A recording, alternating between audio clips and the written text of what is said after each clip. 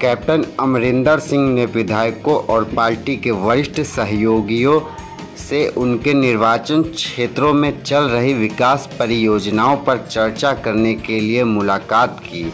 उन्होंने कहा, हमारा सर्वोच्च ध्यान सभी लंबित परियोजनाओं को समय पर पूरा करना, सुनिश्चित करना है।